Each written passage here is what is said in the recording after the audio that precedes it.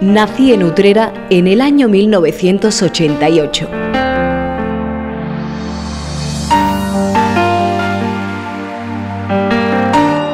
Desde entonces, perfumo la campiña con el aroma de nuestro mejor café.